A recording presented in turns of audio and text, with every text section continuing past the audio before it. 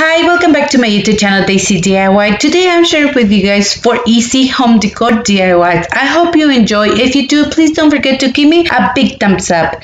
Today I'm taking part of in a thrift store flip collab that is being hosted by the amazing Sandra from the DIY Schwowin's Nest. She has a thrift store flip collab each month and I was an honor to be part of this collab. I will leave the link of her channel below and also the playlist of these wonderful friends that they take part of this collab. I hope you enjoy. If you do, please don't forget to give us a big thumbs up. Thank you so much.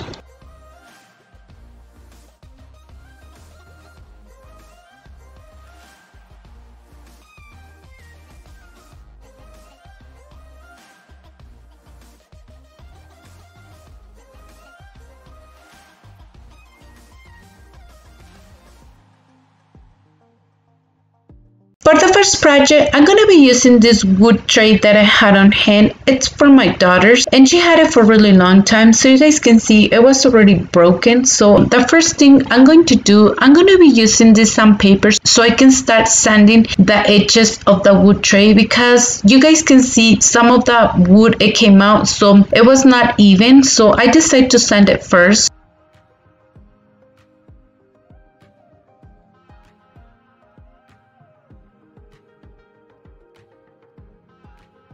And to glue this part back together, I'm going to do a combination of wood glue and hot glue for a strong hold.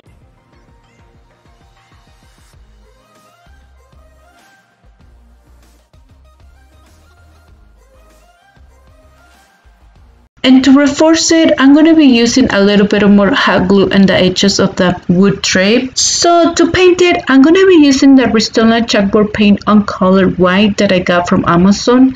So I'm going to do first one coat and once it's completely dry, I'm going to do a second coat. So you guys can see my daughter, she helped me painted this part because she was really excited because it's her wood tray and she wanted to help me in this DIY. Also, I decided to paint the edges of the wood tray and also the back so it has a finished look.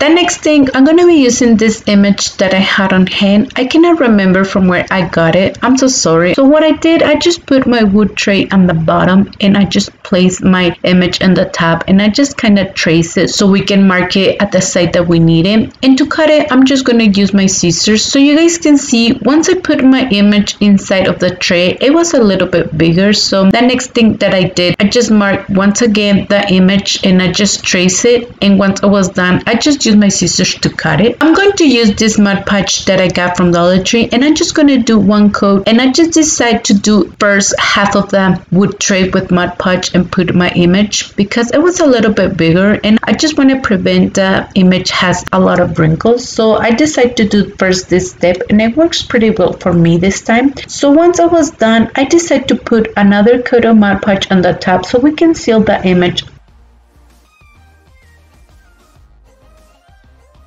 Also, I decided to mark a little bit the letters because it was kind of blurry to me. I know in, in, camera it shows pretty good the letters, but in person it was pretty blurry. So I decided to mark the letters a little bit. Also, I decided to distress the edges of the wood tray and I'm just using my marker to do this step and it works pretty well for me. If you guys want, you guys can use any color black and it will look really beautiful too.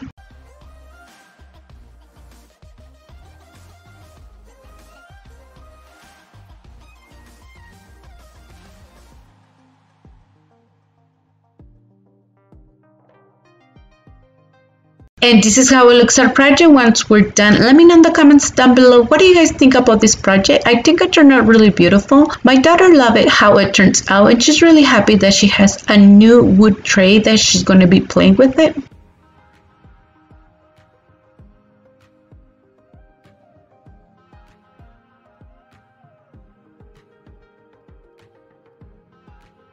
For our second project, I'm going to be using this basket that I had on hand.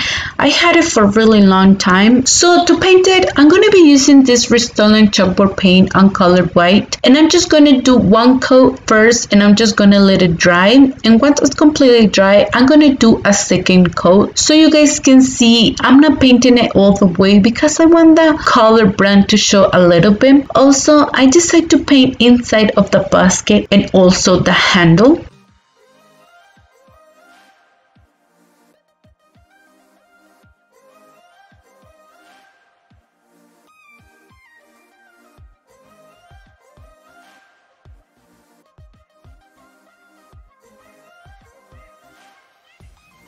The next thing we're going to be using a piece of cardboard. I didn't measure anything. I just kind of eyeball it. So I just create a circle first. And once it was done, I'm just going to be using this image that I had on hand. I'm so sorry. I cannot remember from where I got it once again. I decided to paint the top of the cardboard. And for that, I'm using the Rust-Oleum chalkboard paint on color white. So I just did one coat and I just let it dry. Also, I just paint the edges of the cardboard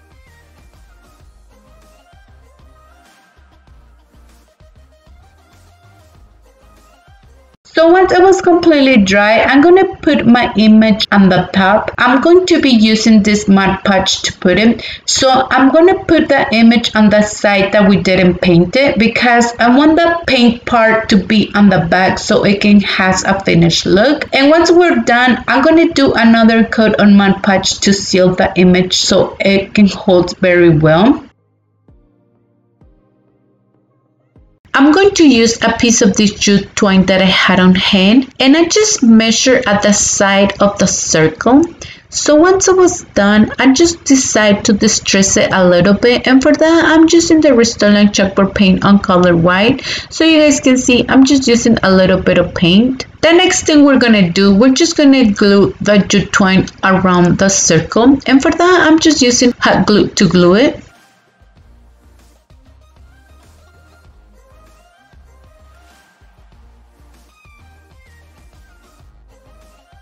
So you guys can see I just have an extra jute twine. So for that I just use my scissors to cut it and I just reinforce it with more hot glue at the end of the jute twine and this is how it looks once you're done. So I'm just to place it right here in the middle of the basket and to glue it I'm just to use hot glue. Also I decided to create this small bow to put it right here because it seems like I was missing something and to glue it I just use hot glue and also to put inside of the basket, I'm just going to put a few pieces of this grenade that I had on hand. Let me know in the comments down below what do you guys think about our second project.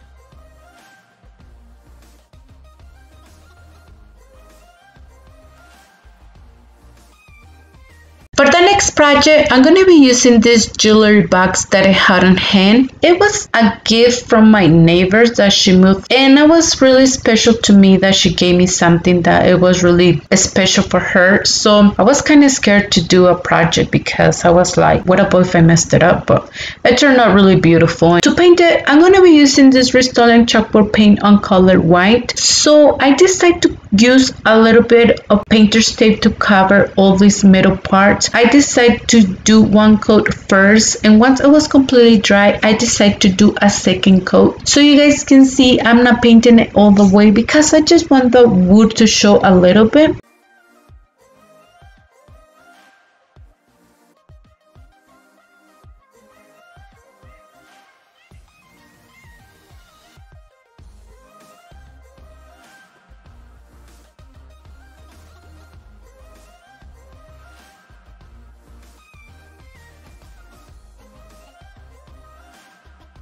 The next thing, I'm going to be using this sandpaper that I got from Dollar Tree and I'm just going to start distressing it a little bit, especially on the edges.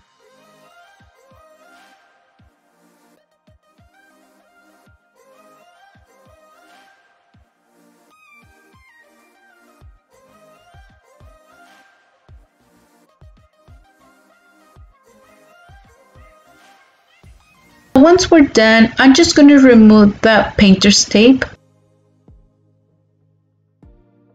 Thing, I'm going to be using this rub-on transfer that I got from Dollar Tree. So I'm just going to be cutting a few pieces of this greenery to put it on the top. I'm just going to place it this way. I'm just going to be using my fingers to put it. Once it was done, I decided to use another few pieces of this greenery to put it right here on the top. So I really don't know what happened with my image, but the other thing that I did, I just used one coat of Mod Podge on the top so we can seal it very well so it won't come come up really easy.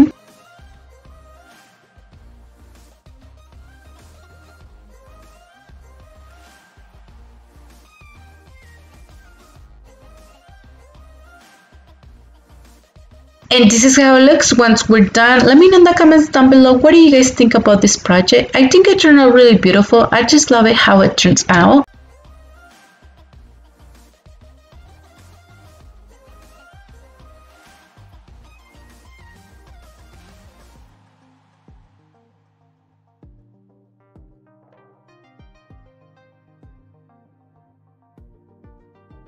For our last project, I'm going to be using this picture frame that I had on hand. So the first thing I'm going to do, I'm going to be using the Rust-Oleum chalkboard paint on color white to paint it. So you guys can see I'm not painting it all the way because I want the color black to show a little bit. So I decided to do first one coat and once it was completely dry, I decided to do a second coat.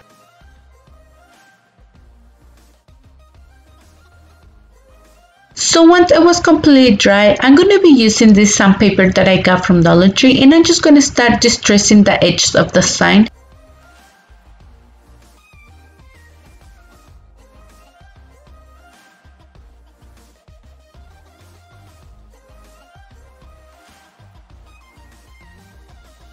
I'm going to use this image that I had on hand. I cannot remember from where I got it. What I did, I just used that glass to put it on the top of the image. And with my pencil, I'm just going to mark it at the side that we need it. So once I was done, I just used my scissors to cut it. So once we're done, we just put the frame all together. Also, I decided to put a few pieces of this greenery right here on the bottom of the sign because it was missing something. So I just put the two pieces together. And once it was done, I decided to use hot glue to glue it. Also, I decided to put a small bow right here so we can cover this middle part of the greenery. And I'm just going to use again hot glue to glue it.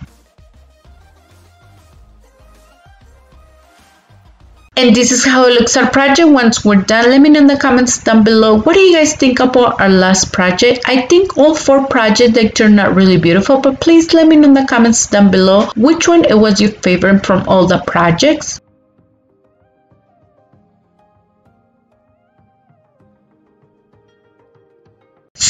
So that it for today's video. Thank you for watching. I hope you enjoyed today's video. If you did, please don't forget to give me a big thumbs up. If you haven't subscribed to my channel, please subscribe and hit the bell icon to be notified every time that I upload new video. And please don't forget to follow me on Instagram and Facebook. Thank you so much and have an amazing day.